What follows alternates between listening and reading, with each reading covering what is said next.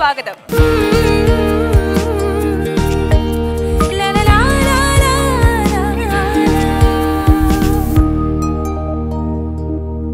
നല്ല കലക്കൻ പെർഫോമൻസുകളായി നമ്മുടെ വേദിതെ തയ്യാറായിരിക്കുകയാണ്. നമ്മുടെ ആദ്യത്തെ പെർഫോമൻസിലേക്ക് പോകുന്നതിന് മുൻപ് നമ്മുടെ ഗസ്റ്റ് നമ്മുടെ അശ്വതി ചേച്ചിയെ വെൽക്കം ചെയ്യുന്നു. വെൽക്കം ചേച്ചി. താങ്ക് യു സോ മച്ച് അപ്പൊ നമ്മുടെ അമ്മമാരും കുഞ്ഞുങ്ങളും ഇങ്ങനെ തകർത്ത് പെർഫോം ചെയ്തുകൊണ്ടിരിക്കുകയാണ് അതെ. അപ്പൊ നമ്മുടെ ഓഡിഷൻ നടത്തി എടുത്തിട്ടുള്ള ആരും മോശക്കാരല്ലാന്ന് നമുക്ക് ഓരോ എപ്പിസോഡും കഴിയുന്തോറും നമുക്കത്. അപ്പൊ നമുക്ക് അധികം വൈകിക്കാണ്ട് ആദ്യത്തെ പെർഫോമേഴ്സിനെ ക്ഷണിച്ചാലോ? പ്ലീസ് സോ ആദ്യമായി ഈ വേദിയിൽ എത്തുന്നത് നിമിഷ ആൻഡ് ടിയ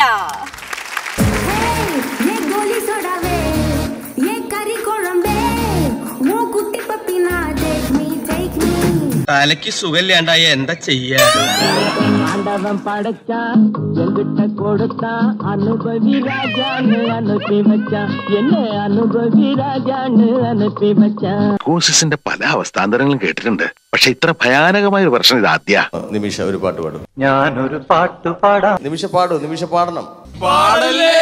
ഞങ്ങൾ എല്ലാരും കൂടെ അഭ്യർത്ഥിക്കുകയാണ് പാടൂ. നിമിഷ പാടു പാടൂ നിമിഷ. പാടി. തുമ്പി തുമ്പിവാ തുമ്പക്കുടത്തിൽ തുഞ്ചത്തായോ ഞാലിടാം ആകാശ പൊന്നാനിലിലകളിലായത്തിൽ തൊട്ടി വരാം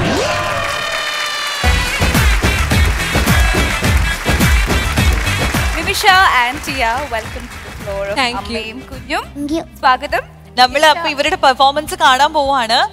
ആൻഡ് ഓൾറെഡി പോപ്പുലർ ആയിട്ടുള്ള ആളാണ് ടിയക്കുട്ടി അല്ലേ? ടിയക്കുട്ടിക്ക് ഒരു എന്താ കുറെ ഫോളോവേഴ്സ് ഒക്കെ ഉണ്ട് കുറെ വീഡിയോസ് ഒക്കെ ടിയക്കുട്ടിയുടെ കുറച്ചും കൂടെ കുഞ്ഞിലെ തൊട്ടുള്ള വീഡിയോസ് ഒക്കെ അല്ലേ? ഓരോ വൈറലായിട്ടുണ്ട് ആയിട്ടുണ്ട്. നമ്മളൊക്കെ അത് കണ്ടിട്ടുണ്ട്.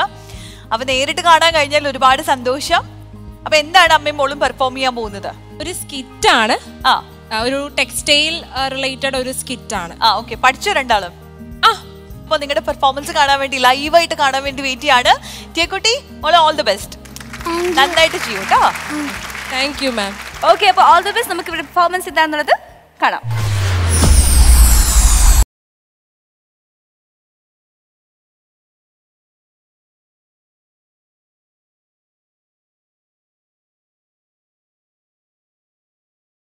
നീ ഇന്ന് എപ്പോഴാ കട തുറന്നേ? പത്ത് മണിക്ക്. നിന്നോട് ഞാൻ ഒമ്പതരയ്ക്ക് കട തുറക്കണമെന്ന് പറഞ്ഞിട്ടല്ലേ ഇന്നലെ രാത്രി ഇവിടെ ഞാൻ പോയത്? ഒൻപതരക്ക് കട തുറക്കാൻ വേണ്ടിയിട്ട് ഞാൻ എട്ടരയ്ക്ക് വന്നാണ്. അപ്പോഴാണ് ഞാൻ ഓർത്തത് വീട്ടിൽ നിന്ന് കടയുടെ ചാവി എടുക്കാൻ മറന്നുപോയി. പിന്നെ നീ എങ്ങനെ കട തുറന്നു? അവസാനം പൂട്ടുകുത്തി പൊളിച്ചു. അത് ശരി. ഇപ്പോഴും നീ ആ പഴയ പണി മറന്നിട്ടില്ല. അല്ല ആ സെയിൽസ് ഗേൾ ശാരി ഇതുവരെ വന്നില്ലേ? വന്നില്ല മോലാളി. അവളിത് ഇത് എല്ലാ ദിവസവും വൈകിയാണല്ലോ ഇവിടെ വരുന്നത്. വന്നിട്ടൊരു കാര്യമില്ല പണിയൊന്നും എടുക്കാതെ ആ മൂലയ്ക്ക് പോരുന്ന് ഫോണിൽ കുത്തി കളിച്ചിരിക്കല്ലേ? അത് ശരി. അവളെങ്കിൽ വരട്ടെ. അവിടെ കളിയെല്ലാം ഞാൻ അവസാനിപ്പിക്കുന്നുണ്ട്. അവക്ക് കൊടുക്കാനുള്ളതെല്ലാം കൊടുത്ത് ഇന്ന് ഞാൻ അവളെ ഇവിടെ നിന്ന് പറഞ്ഞു വിടും അറിയാലോ? ഞാൻ ചൂടായാലേ ഭയങ്കര ചൂടനാ. അതുകൊണ്ടാണോ മുതലാളിക്ക് ഇന്ത് ചൂടെന്ന് പേരിട്ടത്? ഒരുപാട് വിളച്ചിലെടുക്കല്ലേ? നിന്നെ ഇവിടുന്ന് പറഞ്ഞു വിടണമെന്ന് ആലോചിച്ചോണ്ടിരിക്കുവാ ഞാൻ. മുതലാളി മുതലാളി അങ്ങനെ പറയരുത്. ഈ സ്ഥാപനത്തിന് വേണ്ടി ഞാനൊരു കഴുതയെ പോലെ പണിയെടുക്കുന്നില്ലേ? പണിയെടുക്കുന്നു എന്ന് പറഞ്ഞാൽ മതി. കഴുതയാണെന്ന് എനിക്കറിയാം. മുതലാളി ദേ അവൾ വരുന്നുണ്ട്. അവളിങ്ങി വരട്ടെ. കൊടുക്കുന്നുണ്ട് ഞാൻ. കണ്ണിൽ ചന്ദ്രനിലാവല്ലേ? ഞാനും കണ്ടു കൊതിച്ചില്ലേ? ആരും നോക്കിയിരുന്നിടും. നീ ഇത് എവിടെ പോയി കിടക്ക്? ഒന്നും പറയണ്ട. ആ. രാവിലെ തന്നെ അമ്പലത്തിൽ പോയി നമ്മുടെ ടെക്സ്റ്റൈൽസിൽ ബിസിനസ് കൂടണേന്ന് ഭഗവാനോട് മനസ്സുരുക്കി പ്രാർത്ഥിച്ചു. അതുകൊണ്ടാണോ താമസിച്ചത്? അത് മാത്രമല്ല മുതലാളിയുടെ പേരിലുള്ള മൃത്യുഞ്ജയ പുഷ്പാഞ്ജലി കിട്ടാൻ ഇത്തിരി താമസിച്ചു. എന്നാ പിന്നെ ഇതൊക്കെ കഴിഞ്ഞിട്ട് പെട്ടെന്ന് ഇങ്ങി പോന്നാ പോരായിരുന്നോ ശാരിമോളെ? അതെങ്ങനെയാ മുതലാളി ഞാൻ പെട്ടെന്ന് പോരുന്നേ? ഞാനിങ്ങോട്ട് വന്ന വഴിക്ക് ഒരുത്തൻ എന്നെ പിന്തുടർന്നു മുതലാളി. എന്നാ നിനക്ക് പെട്ടെന്ന് പോന്നാ പോരായിരുന്നോ? അതെങ്ങനെയാ? അവൻ പതുക്കെയല്ലേ എന്റെ പുറകെ പോരുന്നത്. പിന്നെ ഞാനെങ്ങനെ സ്പീഡിന് വരാനാ? ആ ബസ്റ്റ്. ആ നോക്കി നിൽക്കാതെ പോയി എല്ലാ സാധനങ്ങളും അടുക്കി പറക്കി വെക്ക്. ആ ശരി മുതലാളി. ദൈവമേ എന്റെ മുതലാളിക്ക് ഒരു ആപത്തും വരത്തല്ലേ? കണ്ടോടാ ആ കൊച്ചിന്റെ ആത്മാർത്ഥത. നീ എന്താടാ ഇതൊക്കെ കണ്ട് വായും പൊളിച്ച് നിൽക്കുന്നേ? അല്ല മുതലാളി ഇങ്ങനെയൊക്കെ ചൂടാവൂല്ലേ? ഡാ പോടാ പോടാ പോടാ. ഷാരി ഈ സാരിയിലെ ഷാരിനെ കാണാൻ നല്ല ഭംഗിയാണ്ടോ താങ്ക് യു. ഷാരികെ നിന്നെ കാണാൻ താരകം താഴെ വന്നു. ഉസ്മാനെ നീ ആയിട്ട് നീങ്ങിക്ക് എന്റെ ഭർത്താവ് ഇവിടെ വന്നാലുണ്ടല്ലോ നിനക്ക് താഴെ നിൽക്കാൻ പോലും സമയം ഉണ്ടാവില്ല എടാ വായി നോക്കി നിന്നെ മതിയടാ ദേ കസ്റ്റമേഴ്സ് വരുന്നു എന്നാ മുതലാളി വേഗം ഒളിച്ചോ എന്തിന് മുതലാളി അല്ലേ പറഞ്ഞത് കസ്റ്റംസ് വരുന്നെന്ന് എടാ കസ്റ്റംസ് അല്ലടാ പൊട്ടാ കസ്റ്റമേഴ്സ് انت معلم واحنا منك نتعلم انت معلم واحنا منك نتعلم نسكت وانت موجود ما ആ, نرضى വരണം വരണം എന്താ വേണ്ടത് ഞാൻ ലീവിന് വന്നതാ. അയ്യോ സാർ അതിന് ഇവിടെ അല്ലല്ലോ ജോലി ചെയ്യുന്നത്. പിന്നെ ഞാൻ എങ്ങനെ ലീവ് തരാനാ? അയ്യോ അതല്ല. രണ്ട് വർഷമായിട്ട് ഞാൻ ദുബായിലായിരുന്നു. അപ്പൊ ഇവിടെ ആങ്ങളുടെ കല്യാണമായതുകൊണ്ട് രണ്ട് ദിവസത്തിന് മുമ്പ് ലീവിന് വന്നതാ. ഓ അങ്ങനെ. അതിരിക്കട്ടെ ഇവിടെ ട്രെൻഡി ആയിട്ടുള്ള ഷർട്ട് ഉണ്ടോ ആ ഉണ്ട് ഉണ്ട് ഉണ്ട്. പാന്റ് മുകളിലും ഷർട്ട് താഴെയും. രണ്ട് വർഷം ഞാൻ വെറുതെ ദുബായിലേക്ക് മാറി നിന്നപ്പോ നാട്ടിൽ വന്ന ഓരോരോ പരിഷ്കാരങ്ങളെ. എന്ത് പരിഷ്കാരം? അല്ല ഞാൻ ഇവിടുന്ന് പോകുന്ന സമയത്ത് പാന്റ് താഴെയും ഷർട്ട് മേളിൽ വരുന്നു. ദാ തിരിച്ചു വന്നപ്പോ ഷർട്ട് താഴെ പാന്റ് മേളിൽ. അയ്യോ അതല്ല. പാന്റ് മേളത്തെ നിലയിലും ഷർട്ട് താഴത്തെ നിലയിലും എന്നാ പറഞ്ഞത്? എക്സ്ക്യൂസ് മീ കറുത്ത കുർത്തി ഉണ്ടോ? കണസാ കുണസാ? കണസ കണസില്ല കറുത്ത കുർത്തി ഉണ്ടോന്ന്. അയ്യോ കറുത്ത കുർത്ത ഇവിടെ സ്റ്റോക്ക് ഇല്ല. ഹലോ ഇനി വാ. ആ. ഒരു വെള്ള കുർത്തയെടുത്ത് കറുപ്പ് പെയിന്റ് അടിച്ച് അവിടെ കൊടുത്താൽ മതി. അവൾ മണ്ടിയാ അവൾ വിശ്വസിച്ചോളും. ആണോ? അനാർക്കലി? അണ്ണാക്കിൽ അയ്യോ അണ്ണാക്കിലല്ല അനാർക്കലി ഡ്രസ് ഉണ്ടോ എന്ന് ആ അനാർക്കലി ഡ്രസ് ആ സെക്ഷനില്ല ഓ അവിടെയാണോ? അല്ല ഇത് സാറിന്റെ മോളാണോ? അതോ ഇയൊക്കെ കണ്ടിട്ട് തോന്നില്ല എന്റെ മോളാന്ന്? അല്ല ഞാൻ ചോദിച്ചതേ ഉള്ളൂ. വന്നപ്പോ തൊട്ടേ മോൾ ഭയങ്കര സൈലന്റ്. അതുകൊണ്ട് ചോദിച്ചാ. എങ്ങനെ സൈലന്റ് ആവാതിരിക്കും? രണ്ടു കൊല്ലമായിട്ടേ ഇത് ഞാൻ ദുബായിലാ. ആ സമയത്തെ ഇവളെ നോക്കിയതും വളർത്തിയതും ഒക്കെ ഞാനാ. അച്ചടക്കവും ബഹുമാനവും അനുസരണയും ഇതെല്ലാം ഇവൾക്ക് ഞാൻ പഠിപ്പിച്ചു കൊടുത്തിട്ടുണ്ട്. ആണോ? എന്നിട്ട് മോൾക്കൊന്നും വാങ്ങിച്ചു കൊടുക്കുന്നില്ലേ? വാങ്ങിച്ചു കൊടുക്കുന്നില്ലേന്നോ? മോൾക്ക് ഞാൻ കോട്ടന്റെ ഒരു ഡ്രസ്സ് വാങ്ങി തരാട്ടോ. കോട്ടന്റെ ഡ്രസ് അച്ഛൻ ഇട്ടാ മതി. അച്ഛൻ നല്ല മാച്ചാണ് കൊച്ചിന് നല്ല ബഹുമാനാണല്ലോ. ആ മിടുക്കിയാണല്ലോ. എന്താ മോടെ പേര്? കരിഷ്മ. എത്രാം ക്ലാസ്സിലാ മോൾ പഠിക്കുന്നേ? ഒന്നിൽ. മോൾ നന്നായിട്ട് പഠിക്കുന്നുണ്ടോ? എന്റെ മോളായിട്ട് പറയുന്നല്ലോ സ്കൂൾ വിട്ട് വന്ന പഠിത്തം തന്നെ പഠിത്തം. ഒരു സെക്കൻഡ് കളിക്കാൻ പോവില്ല. സ്കൂളിൽ ടീച്ചർമാരുടെ കണ്ണിലുണ്ണിയാ എന്റെ മോൾ. ആണോ മോളെ? വെറുതെ ആണെങ്കിലേ ഈ അമ്മ നോണ പറയാണ്. ഞാനാ ക്ലാസ്സിൽ കുറുമ്പി. നല്ല അച്ചടക്കമുള്ള കുട്ടി. ഈ കൊച്ചു സൈലന്റ് അല്ലാട്ടാ വയലന്റ് ആണ്. ആക്ച്വലി ഞാൻ നാട്ടിലില്ലാത്തതുകൊണ്ടാണ് പക്ഷെ ഞാൻ നാട്ടിലുണ്ടായിരുന്നെങ്കിൽ നല്ല അടി കൊടുത്ത് ഇവളെ എന്നെ അച്ചടക്കം പഠിപ്പിച്ചാൻ എന്ത് ചെയ്യാൻ? ദുബായിലെ ബിസിനസ് ഇട്ടറിഞ്ഞിട്ട് എനിക്ക് ഇങ്ങോട്ട് പോരാക്കില്ലല്ലോ അല്ല ദുബായിൽ സാറിന് എന്താ ബിസിനസ് ഞാൻ അവിടെ അറിയപ്പെടുന്ന ഒരു കോക്കനട്ട് ഡീലർ അല്ലേ? വെറുതെ പറയാണ് അങ്കിളെ അച്ഛന് ബോംബെയിൽ കരിക്കിന്റെ കച്ചവടമാണ്. അതെ ഇനി ഇവിടെ നിൽക്കണ്ട. നാണക്കേടാണ്. നമുക്ക് അപ്പുറത്തെ സെക്ഷനിലേക്ക് പോവാം. ആക്ച്വലി ചേട്ടൻ ദുബായിൽ തന്നെയാണ്. കുട്ടിക്ക് അറിയില്ലല്ലോ ബോംബെ ഏതാണ് ദുബായ് ഏതാന്ന്. ഓക്കെ മാഡം അത് മനസ്സിലായി. അതെ മാഡത്തിന്റെ മാല നല്ല നൈസ് ആയിട്ടുണ്ട് കേട്ടോ ആണോ? അതെ ഇത് ചേട്ടൻ ദുബായിന്ന് വന്നപ്പോ കൊണ്ടുവന്നതാ. വെറുതെ പറയാ ആന്റി. ഇങ്ങോട്ട് വന്നപ്പോഴേ നിമിഷാന്റിന്റെ കയ്യിന്ന് കയ്യിൽ നിന്ന് കടം വാങ്ങിയതാ. കരിഷ്മ ഇത്ര തമാശകൾ മമ്മി അനുവദിക്കില്ലെന്നറിയില്ലേ? ആന്റി എന്റെ പേര് കരിഷ്മ അല്ല. പിന്നെ? ഇങ്ങോട്ട് വരുമ്പോ അച്ഛനും അമ്മയും പറഞ്ഞതാ. പേര് മാറ്റി പറയണമെന്ന്. അപ്പൊ മോളുടെ ശരിക്കുള്ള പേരെന്താ? ചക്കി. അമ്മേന്റെ പേര് അറിയാമോ കമലാക്ഷി അപ്പൊ സാറിന്റെ പേരെന്താ? ദേവൻ ദേവരാജൻ ദേവരാജ പ്രതാപവർമ്മ വെറുതെയാണ് നാട്ടിൽ എല്ലാവരും പൊടിയൻ മേശ്ശേരി നമുക്ക് ആ ചുരിദാറുള്ള ഭാഗത്തോട്ട് പോവാം. മാഡം കുട്ടികളല്ലേ? അവരുടെ മനസ്സിൽ കള്ളവില്ല. നിങ്ങളത് കാര്യമാക്കണ്ട. നിങ്ങൾ എന്താ പർച്ചേസ് ചെയ്തതെന്ന് വെച്ചാൽ അത് വാങ്ങിച്ചോണ്ട് പോയാൽ മതി. അപ്പൊ സാറിന് എന്താ വേണ്ടത്? എനിക്കൊരു ഷർട്ട് വേണം. ചെക്കാണോ സാർ? അയ്യോ ചെക്കല്ല. രൊക്കം പൈസ. അതല്ല ചെക്ക് ഡിസൈൻ ഉള്ള ഷർട്ടാണോ വേണ്ടതെന്ന്? ദേ ഷർട്ട് വേണ്ടാന്നേ. ടീഷർട്ട് മതി.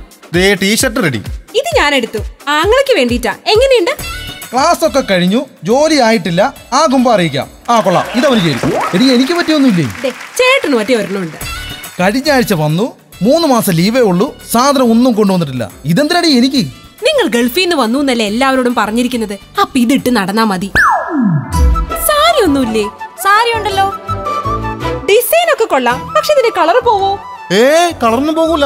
മുഴുവൻ കളറും ബക്കറ്റിൽ കിടക്കും. പിന്നെ നമ്മൾ കൊണ്ട് കളഞ്ഞാലേ അത് പോകൂ. അത് ഞാൻ ഗ്യാരണ്ടി ദേ ആ സാരി ഇങ്ങെടുത്തേ. കലങ്കാരിയാണോ? അഹങ്കാരിയാണോന്നോ എവളെ പോലൊരു അഹങ്കാരിയെ ഞാൻ എന്റെ ജീവിതത്തിൽ കണ്ടിട്ടില്ല. ദേ മനുഷ്യ നിങ്ങൾ അങ്ങോട്ട് മാറിയില്ലേ കണ്ടോ കണ്ടോ ഞാൻ പറഞ്ഞില്ലേ അഹങ്കാരിയാണെന്ന്? ആ മുത്തുള്ള മഞ്ഞ സാരി ഒന്ന് എടുത്തേ. ആ ഇത് മാഡത്തിന് നന്നായിട്ട് ചേരും. നല്ല കളറ്. കളറൊക്കെ നന്നായിട്ടുണ്ട്. പക്ഷേ മുത്ത് ഇതല്ല പച്ചമുത്തുണ്ടോ പച്ചമുത്ത് ഒന്ന് നോക്കട്ടെ മാഡം. ആ നോക്ക് നോക്ക്. മാഡം ഉദ്ദേശിച്ചത് ഈ കളറാണോ? ഈ കളറാണ് പക്ഷേ അല്ല മഞ്ഞ കളറാണ് ഞാൻ ഉദ്ദേശിച്ചത്. ഇതണക്ക് പ്രാന്ത ഇനിയിപ്പോ പുതിയ സ്റ്റോക്ക് ഒന്നും ഇല്ലേ പുതിയ സ്റ്റോക്ക് അല്ലേ? മാഡം ഒന്ന് നോക്കട്ടെ ഏട്ടാ. ആ.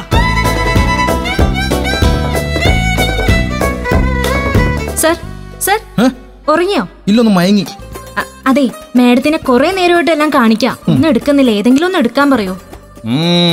ഏ അഞ്ച് സാരിയാ. എന്റെ ദൈവമേ ഇന്ന് എന്റെ ഊപ്പാടളകും. അതെ മേഡം ഇത് മതിയോ? ഇത് നോക്കിയേ ഈ കളറിൽ വേറെ സ്റ്റഫ് ഇല്ലേ? വേറെ സ്റ്റഫ് മേഡം ഇത് നോക്കിയാന്നാ ഈ കളറാണോ? ഈ കളറിൽ വേറെ സ്റ്റഫ് ഉണ്ടോ? അല്ല ഈ കളർ മാഡത്തിന് നന്നായി ചേരും. എന്നാ പിന്നെ ഇതിൽ വേറെ സ്റ്റഫ് ഉണ്ടോ? സ്റ്റഫ് ഞാൻ ഒന്ന് നോക്കട്ടെ. നോക്ക് നോക്ക്. അത് ദേ മേഡം ഇത് നോക്കിയേ. ഞാൻ ഉദ്ദേശിച്ചത് ഇതല്ല. നമ്മുടെ താമരശ്ശേരി ചുരം പോലെ ഇതിങ്ങനെ വളഞ്ഞു പൊളഞ്ഞു പോകുന്ന ഡിസൈനും അതിന്റെ ഇടയിൽ പച്ച പച്ച മുത്തും നല്ല കസവൊക്കെ ഇതാക്കിയിട്ടുള്ള മുന്താണിയൊക്കെ ഉള്ളത്. അതുപോലെ ഉണ്ടോ? ഞാൻ ഒന്നും കൂടി നോക്കട്ടെ മാഡം. ആ നോക്കിയിട്ട് വരും. ആ ശരി. ഓ താമരശ്ശേരി ചുരത്തിന്ന് ഞാൻ ഇവരെ തള്ളിയിട്ട് കൊല്ലും. അതെ സാറേ സാറ് ഉറങ്ങിയാണോ? ഏ, അല്ല പിന്നെ ഒന്ന് മയങ്ങി. സാറേ ഏതെങ്കിലും ഒന്ന് സെലക്ട് ചെയ്യാൻ പറ സാറേ. കുറേ നേരവും ഞങ്ങളിട്ട് കഷ്ടപ്പെടുത്തുന്നത്. സാറേ അഞ്ച് സാരി അല്ല സാറേ. ഞങ്ങൾ ഒരു അമ്പത് സാരി കാണിച്ചു. മാഡത്തിന് ഒന്നും ഇഷ്ടപ്പെടുന്നില്ല. ഏതെങ്കിലും ഒന്ന് എടുക്കാൻ പറ സാറേ. അയ്യോ ഞാൻ അഞ്ച് സാരി എന്നല്ല പറഞ്ഞത്. ഇത് അഞ്ചാമത്തെ കടയാന്നാ ഞാൻ പറഞ്ഞത്. ഒരു സാരി എടുക്കണമെങ്കിൽ മിനിമം എവിടെ അഞ്ച് കടയിലെങ്കിലും കേറും അതാ എവിടെ കണക്ക്. ചേട്ടാ ഈ സാരി എങ്ങനെയുണ്ട്? ഇത് സൂപ്പർ. സൂപ്പറാ. പക്ഷേ ഇതിന്റെ സ്റ്റാഫ് പോരാ. അയ്യോ.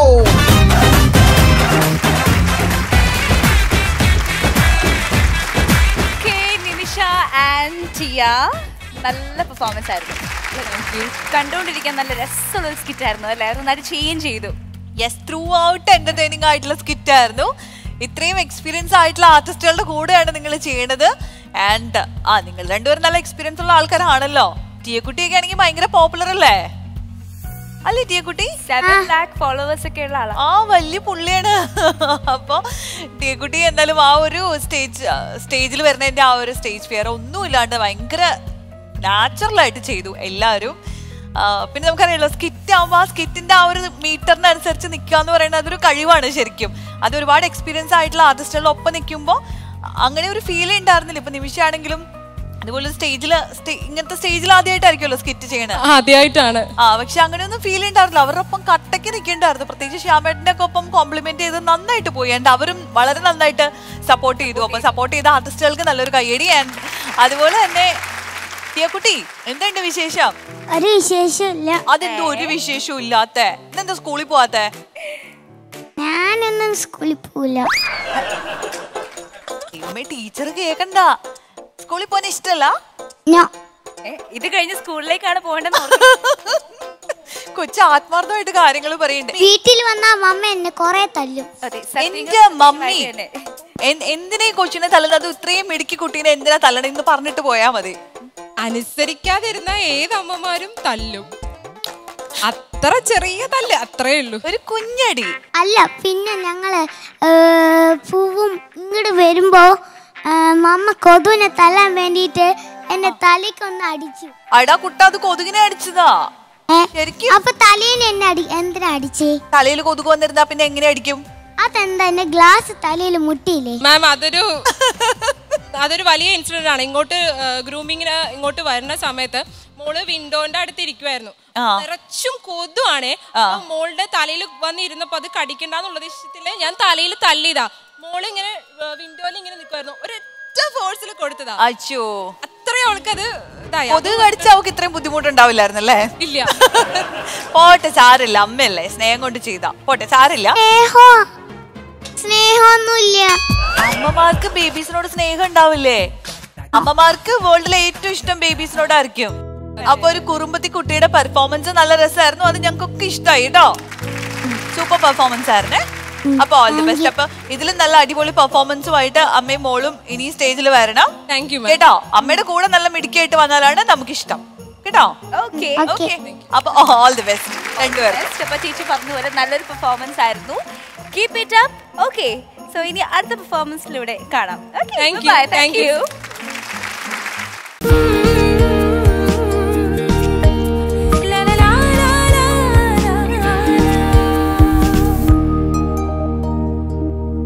അടുത്തതായി എത്തുന്നു ശിവാനി ആൻഡ് സിജി രാജേഷ്. ഇന്നോ ഞാൻ എന്റെ മുറ്റത്തോരറ്റത്ത് പുന്നാരിച്ചൊരു മുല്ല നട്ടു. തളരരുത് രാമൻകുട്ടി തളരരുത്.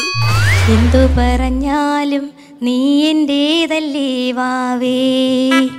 ഒന്നു പിണങ്ങാതെ ഒന്നു കൂടെ പൊരു പൂവേ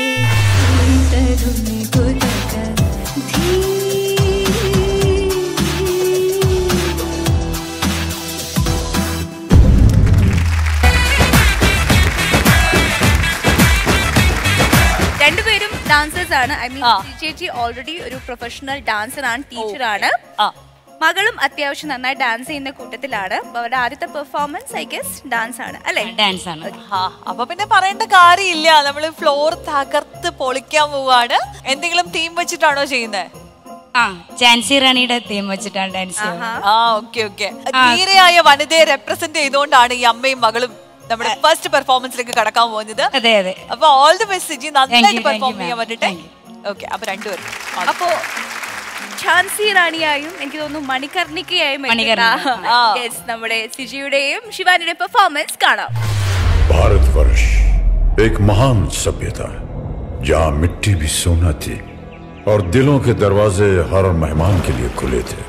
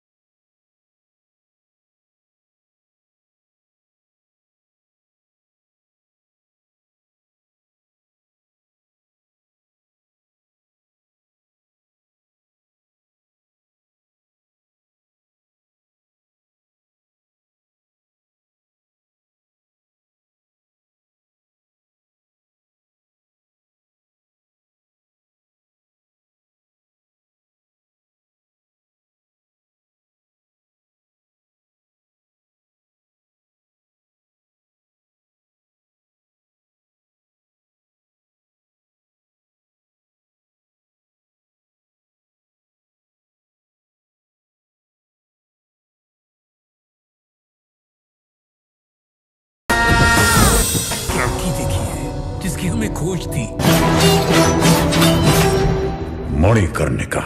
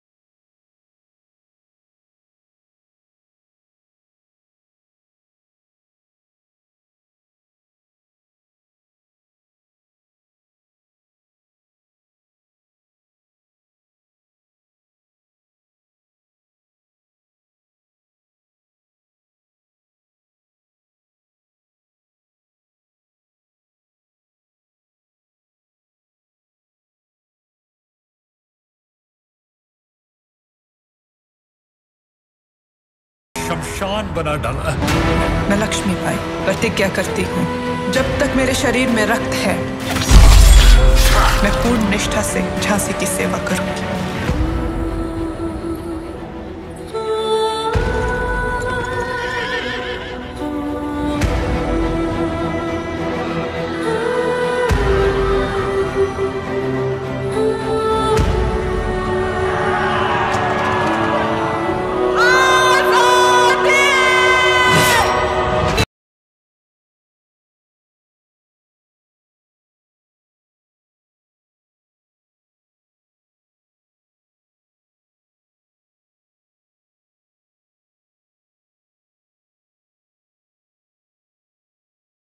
अपनी झांसी नहीं दूँगी।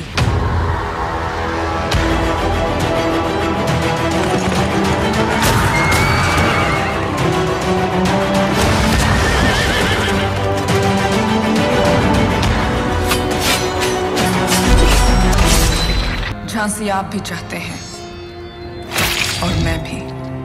फ़र्क सिर्फ़ इतना है, आपको राज करना है, और मुझे अपनों की सेवा। खूब लड़ी मर्दानी थी वो। झांसी वाली रानी थी वो।